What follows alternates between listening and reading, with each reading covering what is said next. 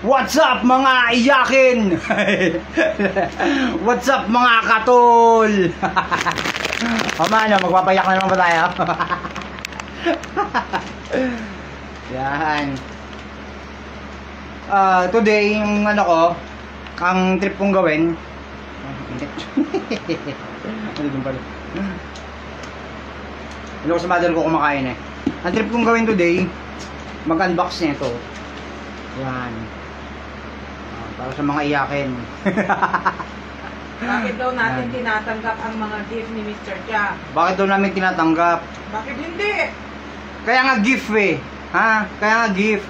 Hindi, shoutout lang to sa mga ano ha, mga nag, nag ano sa amin, nagbabash sa amin na ano, naburaot daw kami, binu, binuburaot namin yung mga ano, mga binibigay niyang ganito.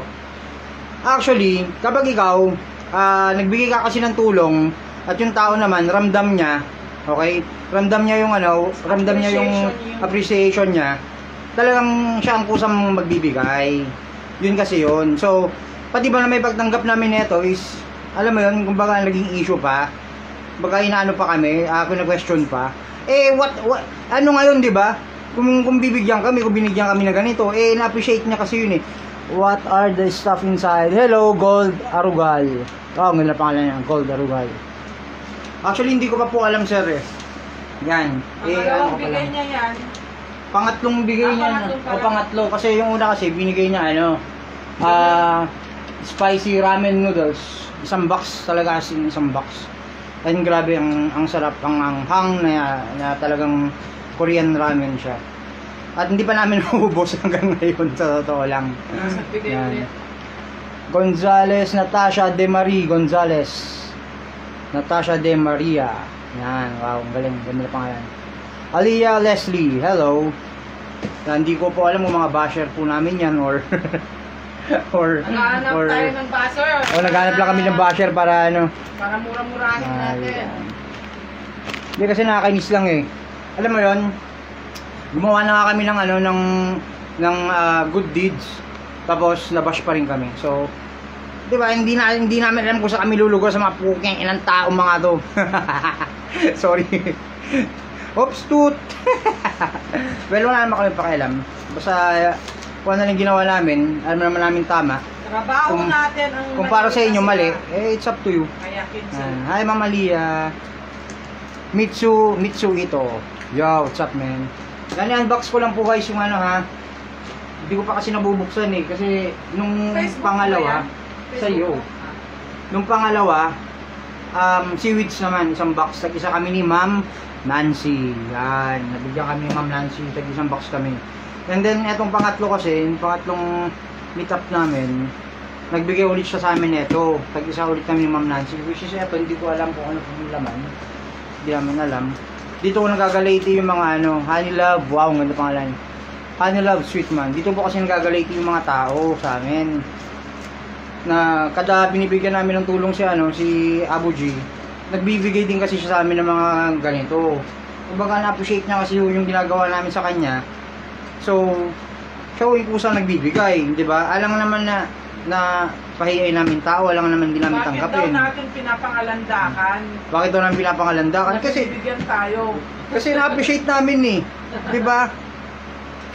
Na-appreciate kasi namin So ganun din kasi siya, kapag binibigyan din kasi namin siya ng ano, ng um, time, yan, gaya ng pagtulong, gaya ni um, David Ilagan, yan, nagbigay siya ng, ng tulong doon, which, is din- 9,500. oh, which is dinagdagan din namin ng mother ko, okay, ginawa namin 15,000, tapos kay Ma'am Nancy rin, nagbigay din ng 11,000, kumbaga, yung mga tulong kasi, tulong po kasi na binibigay namin sa ano, sa, sa kanya, parang, bi- ano lang ho, in return lang ho yung Nawalan ginagawa kasi niya. ng trabaho, magmula Oo. nung binuli-buli na. Nawalan ko kasi siya ng trabaho magmula nung ano, magmula nung nag-chat siya ng si Fada. Huwag mo intindihin na. Para, But out! Ayan na. Um, ayun, wala tuloy. magmula ko kasi nung, nung ano, nung nagkaroon sila ng issue ni ano, ni Abu G. Kaya nawalan ko kasi siya ng benta. Hindi na ko siya nakapagbenta, hindi na ko siya... Di ba dati nasa street lang ko siya? malaki yung siya. mga benta niya noon. Malaki mga benta niyo, nung nakabenta talaga siya ng ano, ng Ilang carton yun. Oo, sa isang araw. Pero ngayon, magmula kasi nung ano na, nung kumentra na si ano sa kanya, si Wanderer, ayun nga ho, hindi, na, hindi naman natin kagustuhan yung nangyari. Kaso nagkandaleche-leche po talaga yung buhay niya. Totoo lang. At ah, yung sanang usapan nila na kumbaga magtutulungan sila, eh hindi na ho ano. Alam ko madaming ano kay ano, madaming sangayon kay Wanderer sa ginawa sa ano, sa tingin nyo ha, yung pagkakalam nyo. Pero may usapan kasi yung dalawa na napangakuha niya si, ano, si Abu G na magtatayo na lang sila ng store, yan, 10% sana mapupunta kay Abu G. Siya pa yung... Siya pa yung naghanap ng place. One month ho talaga, talagang ini-sketch po lahat ni Abu G yun. Binigyan ng pangkain, panggasolina. Hindi man lang niya binigyan ng pangkain, ng panggasolina para mag-ikot. Ikaw umabot nga ng buendia yung matanda. Nagastos na Oh, niya yung... nag-asos niya na yung 10,000 na binigay sa kanya nung una, yung unang-unang meet nila. Nagkabuhan na pangalan. O, yung unang-unang tulong na sinasabi niya, eh, doon pa nga lang sa Pampanga, oh, kung tutuusin. Doon po sa ano, ah, doon po sa kinainan nila sa Pampanga. ah. Oh, pinangtip pa ni ano yung ano, yung 1,200. Galing pa mismo sa bulsa ni. O, galing na mismo sa bul- sa ano, bulsa ni Abuji yun. Kasi nga, etong si Gagong ano, sorry to say guys ha, hindi ko pala nagbayad yun si si Ria Wanderer. Ang ginawa niya, sponsor, pinay-sponsor na lang sa kanya yung um, name ng place. Kumbaga babanggitin niya na lang sana sa vlog. Pero hindi na Pero ni minsan hindi niya ako ginawa, hindi niya ako binanggit. Sinulat lang sa description. Sinulat lang sa description yung pangalan ng store pero hindi man lang niya binanggit. Kaya ganun siya kawalang ya. Pasensya na guys ha, kung natatamaan man kayo, kung sino mga follower niya, no. Nagsasabi lang ako ng totoo. Wala naman pakialam sa kanya kung sino man siya, di ba? Hindi ko naman kaano ano ano. Naga, nagaganito, nagsasalita lang ako ng ganito kasi kaya kayo, di ba? Um, si Wanderer, pinagtatanggol nyo. Kami rin, pinagtatanggol din namin yung another side naman kung bakit ganun. Kasi kung di natin papakinggan yung kabilang side, kawawa naman. Di ba? Yun lang yun. Kaya, eto guys ha, bubuksan natin para sa inyo, ha? Yan. Ang laman ng bayong ay Kahon. pero kahon. 300,000. ano nga pala yung sabihin 300,000 yun? Tangi, wala na. Guys, narinig nyo ba ni minsan ba binanggit niya ano? Binanggit ni Syria na may 300,000 sa ano? Sa vlog niya na may binigay. Kunwari. Lang yun. At tatanga rin ng mga ano eh, ng mga followers niya eh. Yung mga vlogger na nag-ano sa kanya, na hindi na raw nag, nag, nagpasalamat na lang si ano, si Mr. Chan kasi binigyan siya 300,000 dun sa may Pampanga, yung sa kainan.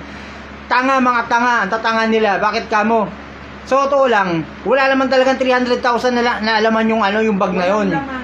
Walang laman yun. To, mga damit lang ni Abu G nandun.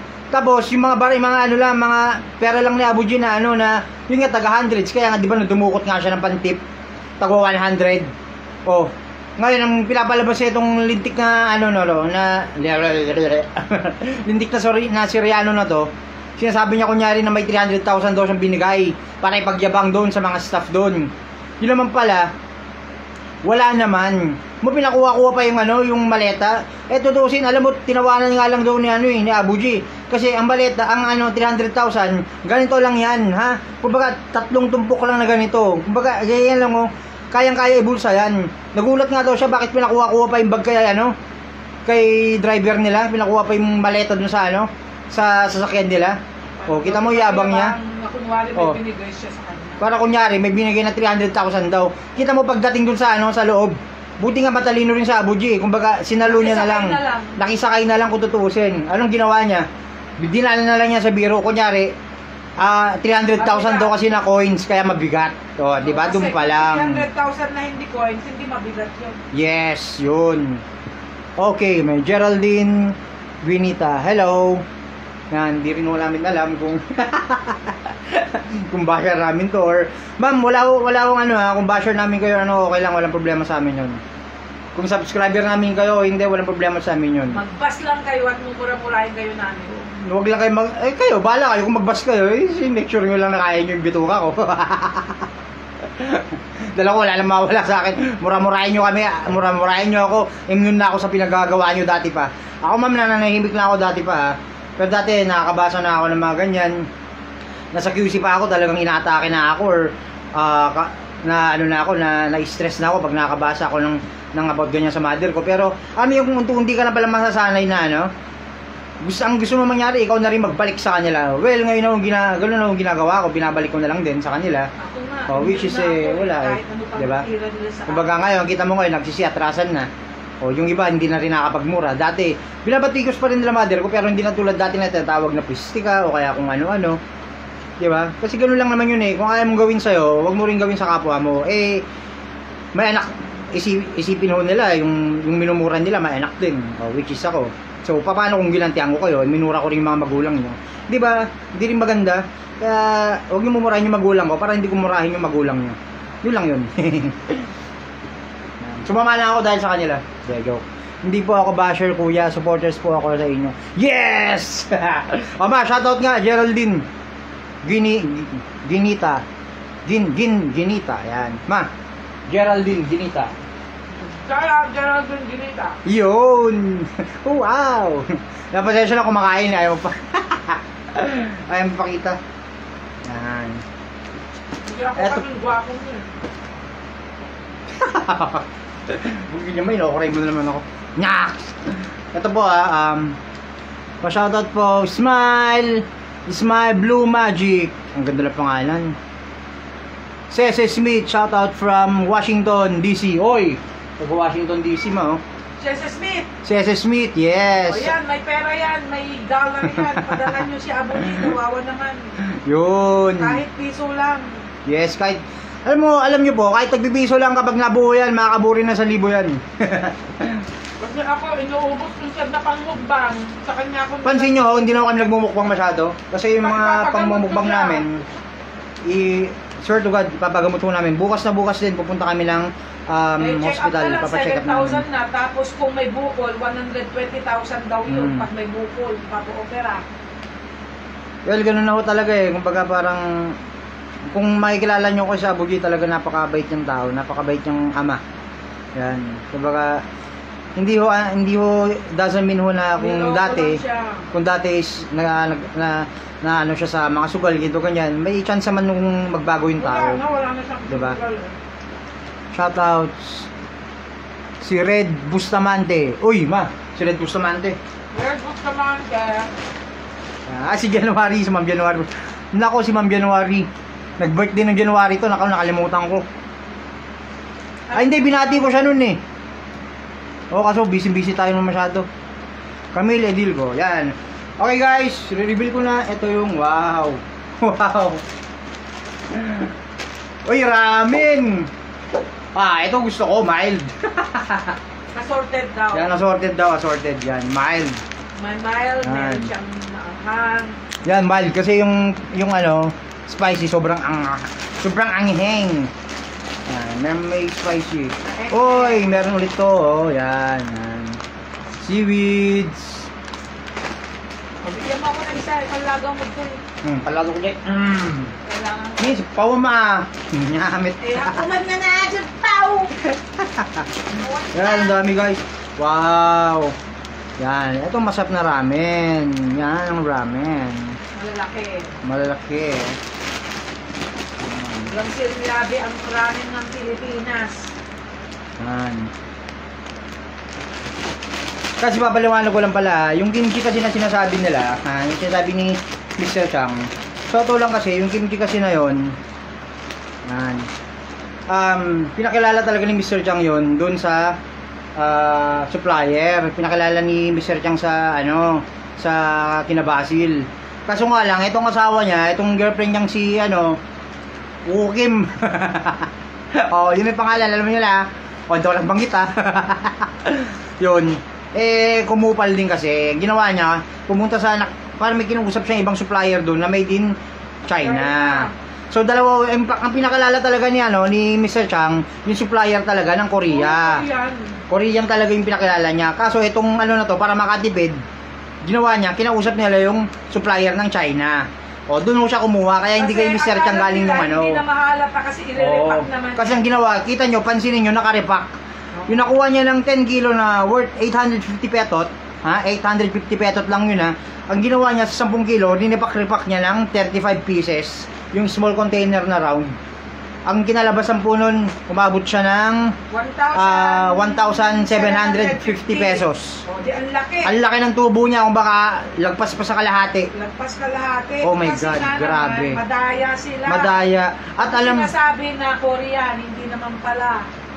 at ang ano, ang kinakasama ng loob ni Mr. Chang, sa tagal-tagal na raw niya nagtitinda, never siya ng loko ng tao. Yun ang point niya. Okay, kasi kung sa kanya rin lang galing yun, bakit pa niya i-reveal? Eh di napasama rin siya, di ba? Kung sa kanya galing din yung ano, yung supplier ng China. Syempre, di ba, hindi naman ganun katangay yung tao, kaya niya ni-reveal kasi nga, ang ginawa kasi netong, netong ano na to, Syri- Syrian na to, kumuha siya dun sa ano, supplier ng China. So, anong nangyari niyan?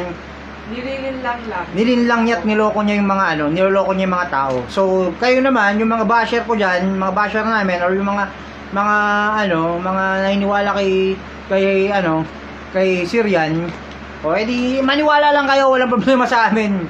Walang problema sa akin kahit paglolokohin niya kayo. Trip Kahit niyo yan. niyo yung puwet niya. Kahit yung puwet niya, wala kami pakialam sa inyo puking ina niyo. di ba? Yun lang oh. At least sinabi ko lang yung totoo, di ba? Alam mo wala naman akong wala naman akong ano intention para siraan siya or wala naman akong intention para para um birahin siya ng ganito kung hindi lang din galing kay Mr. Chang. Sila na kasi nagsama na matagal. So, di ba? Kayo ba kami maniniwala? Sa kanya ba o etong sa taong nakasama? At saka, guys, sa tanda na nito, tangina magsisinungaling pa ba to, di ba? Kumbaga, ang gusto nga lang sana niya mangyari, Maging Ma- honest. Maging honest, mawala man daw siya sa mundong ito, at least may matutunan tayong leksyon na kahit minsan, sa, alam mo, isang araw na naging mayaman siya, naging milyonaryo siya, at lumubog man siya, okay, dadapa man siya, pero pinilit niyang bumangon ulit. At O, doon yun. yun. nakilala ang mga totoong tao. At doon niya nakilala yung mga totoong tao. Sino yung mga Oh. totoong- Tapos, ang nangyari pa niyan, alam mo yung, kumbaga, ah yung, yung, yung background na ng ano niya, ng, ng buhay niya is napakaganda na, biglang pinanghimasukan ng Siriano na to, sa tanda lang yung ginanon pa siya, kumbaga parang alam mo yung legacy na lang sana, Sinira pa. yung legacy sana na naiwan, may iwan sana niya, sana ng Di ba? ganda ng story. ang ganda sana ng story ng life niya kasi kahit na nadapaman siya, at least nakabangon siya at pilit niyang lumalaban, pero ngayon, sa ginawa ni Sirian, lalo pa siyang lalugmok. Yan, tandaan niyo yan. Magbabayaran ng Syria na yan, mamamatay din yan. Don't worry. Mamamatay siya agad. Yan. Karma is real. Okay? Magpapakamatay ka. Thank you guys. Ito lang ho ang aking ah, unboxing. Thank you sa Rihomart. Yan. Sa ano ng Rihomart to eh. Yan. Mga, mga ano ng to eh. Mga original Korean. Supply. Okay? Nakatagda kay, ano, kay Rudy Baldwin na magpapakamatay ng vlog? Nako, putang ina. Tayo tayo dyan. Siya yun. Good night, Lords. Ay, good night. Yalla, masalam. Night, guys.